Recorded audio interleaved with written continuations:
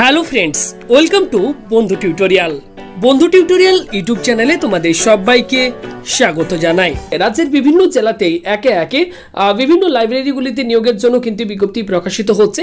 এই মুহূর্তে কিন্তু রাজ্যের আরও একটি জেলাতে নিয়োগের জন্য এই বিজ্ঞপ্তি প্রকাশিত হয়ে গেছে। আজকের এই ভিডিওতে আমি এই বিজ্ঞপ্তি নিয়ে আপনাদের সাথে ইন ডিটেলসে আলোচনা করব। অর্থাৎ এই লাইব্রেরিয়ান পোস্টে অ্যাপ্লাই করতে চাইলে আপনাদের কোয়ালিফিকেশন কি থাকতে হবে, বয়স কি থাকতে হবে অ্যাপ্লিকেশন আপনারা কীভাবে করবেন এবং আবেদনের শেষ তারিখ কী রয়েছে। কমপ্লিট ইনফরমেশন দেওয়ার চেষ্টা করব আপনাদেরকে আজকের এই ভিডিওটির মাধ্যমে।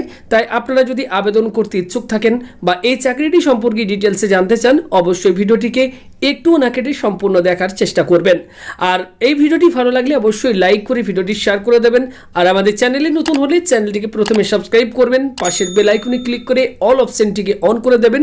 বিভিন্ন চাকরির খবর, চাকরির প্রস্তুতিমূলক ভিডিওগুলির আপডেট রেগুলার পাবার জন্য। তো আসুন বন্ধুরা, আজকের এই ভিডিও শুরু করা যাক। তো এই মুহূর্তে প্রত্যেকে আপনারা অন স্ক্রিনে অফিসিয়াল নোটিফিকেশনের পিডিএফ দেখতে পাচ্ছেন। তো প্রথমেই দেখুন নেম অফ দ্য পোস্ট যেটি বলা হচ্ছে লাইব্রেরিয়ান ওকে প্রত্যেকে দেখতে পাচ্ছেন librarian in sponsored public library having the status of rural library অর্থাৎ যে সমস্ত স্পন্সার্ড পাবলিক লাইব্রেরি অর্থাৎ রুরাল লাইব্রেরিগুলিতে লাইব্রেরিয়ান পোস্টে কিন্তু নিয়োগ করা হচ্ছে। রাজ্যের বিভিন্ন জেলাতে কিন্তু এই লাইব্রেরিয়ান পোস্টে নিয়োগের জন্য কিন্তু একে একে বিজ্ঞপ্তি প্রকাশিত হচ্ছে। তো আপনারাও কিন্তু আপনাদের জেলার নাম কমেন্ট করে জানিয়ে রাখতে পারেন। আমি কিন্তু পরবর্তী সময় আপনাদের জেলাতেও বিজ্ঞপ্তি প্রকাশিত হলে আমি আপডেটটি ভিডিওর মাধ্যমে দিয়ে দেবো।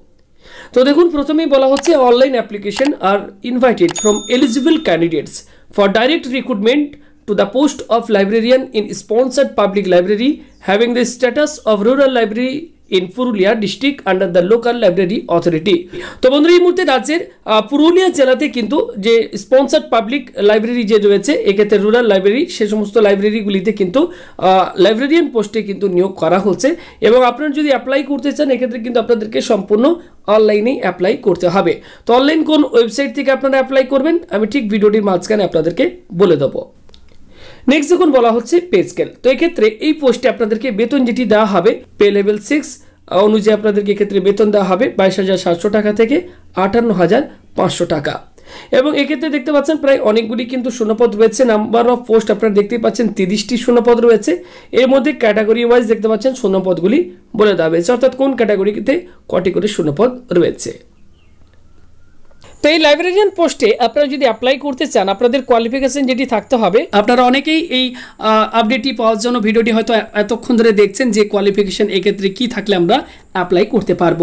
তো আপনাদেরকে জানিয়ে রাখি তখন প্রথমেই বলা হচ্ছে must have passed higher secondary or its equivalent from recognised board okay অর্থাৎ এক্ষেত্রে উচ্চ মাধ্যমিক বা সমতুল্য পরীক্ষায় আপনাদেরকে কিন্তু পাশ করে থাকতে হবে।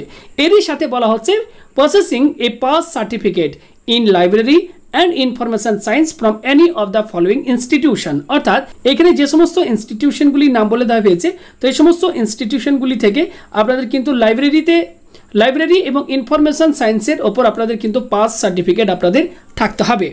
সাথে বলা হচ্ছে candidates with bachelors degree in library and information science or its equivalent R also eligible to apply সাথে এই কোয়ালিফিকেশন আপনাদের থাকতে হবে এবং এরই সাথে আপনাদের বেসিক কম্পিউটারের নলেজ অবশ্যই আপনাদের থাকতে হবে এবং বাংলা ভাষা কিন্তু আপনাদের অবশ্যই জানতে হবে। তো এই কোয়ালিফিকেশন থাকলে আপনারা কিন্তু এই লাইব্রেরিয়ান পোস্টের জন্য অ্যাপ্লাই করতে পারবেন। ওকে নেক্সট বলা হচ্ছে এজ বয়স থাকতে হবে আপনাদের এক এক দু তারিখ অনুযায়ী আঠারো বছর থেকে চল্লিশ বছরের মধ্যে। এছাড়া রাজ্যের এসসি এসটি ওবিসি ক্যান্ডিডেটরা সরকারি নিয়ম অনুযায়ী কিন্তু বয়সের ক্ষেত্রে ছাড় পেয়ে যাবেন।